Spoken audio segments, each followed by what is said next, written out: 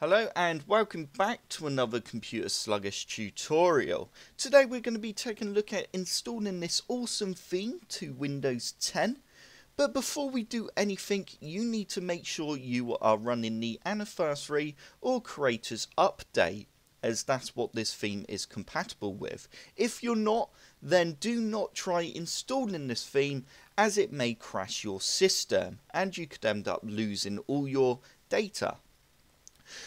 Right, you now need to click on the link that's in the description below and you'll end up on the page that looks like this. Once you're on this page you need to now click on download over on the right hand side here and you need to go save file. Once you save that file we can now go ahead and open the folder. We're just going to right click and we're going to go extract all and we just want to extract all the contents in that zip folder. Once we've extracted that folder, that's absolutely fine. As you can see, we've got uh, our anniversary update folder and our creators update. But before we do anything else, we now need to go back to our page here. And we need to scroll down. And we need to click where it says Ultra UX Theme Patcher. We need to go continue and you end up on this page. I will also include a link to this website in the description below as well. And yet again, do not install this patcher unless you are running the anniversary update or the creators update. As you can see here, for the anniversary update you need either version 1607 or version 1703. To check this version, if you go down to the bottom left hand corner of your screen, right click and go to system. Once you're on system, you'll see here it says version and well, it says version and I've got 1703 which is absolutely fine. I can install this theme and I can install the patcher. Please make sure you do have the correct version before doing any of this. There you go, as you can see, I've got the creators update. Right, we're now going to click on the download link here, We're just going to click on Ultra UX Theme Patcher, and we're going to go save file. Once you save the file, we now need to run the setup.exe, and we're going to go yes. And I'm just going to minimize all that for a second. We now need to go next. I accept. Next. I agree. And we're going to hit install. It does create a system restore point Ultra UX Theme Patcher, but if you prefer to create one yourself manually as well, feel free to do that now before you press install. I'm going to go ahead now and press install.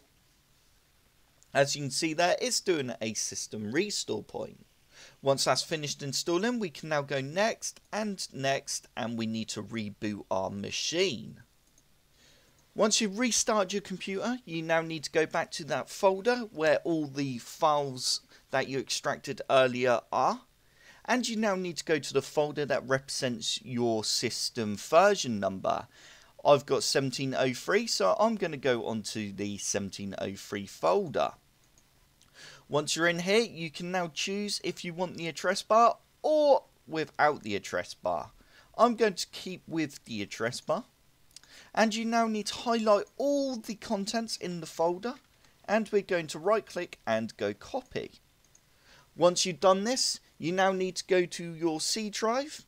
You need to go to your Windows drive. Once you're in your Windows drive, you now need to go to Resources. And you need to now go to Themes. Once you're in the Themes folder, you can now right click and we can go Paste. We're just going to select Continue. And once you've done that, as you can see here, there's all the files that I can set the theme up for. Or we can simply just minimize this window. We can now right click, go personalize, and go down to themes. And as you can see, we've got our new themes here. If I just click on one of them now, I'm just going to go with this first one here. And if I just minimize that and open up our Windows Explorer, as you can see, our Windows Explorer has now changed colour, which is absolutely great. The theme has worked fine. But if you do have this little annoying white bit at the top here, we can easily fix that by going back to the web page we were on earlier, which is in the description below.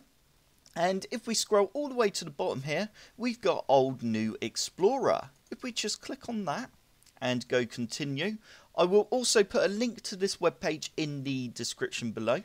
And if you just scroll down and go download, and we're going to go save file. We now need to open up the containing folder. You now need to right click on the old new explorer and go extract to old new explorer.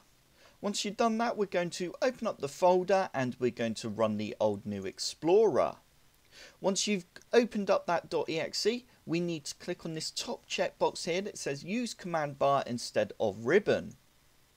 Once we've clicked on that, it will check the rest of these boxes here. Feel free to go through any of them and uncheck them if you don't want them checked. And we're going to click on install. Once you've hit install, we now need to go yes and we need to click down here and go yes again. And if I close my Windows Explorer now and reopen it, as you can see, that bar has now gone at the top, and it's as easy as that. I hope this tutorial has helped. If it has, hit the like button below and subscribe for more computer sluggish tutorials.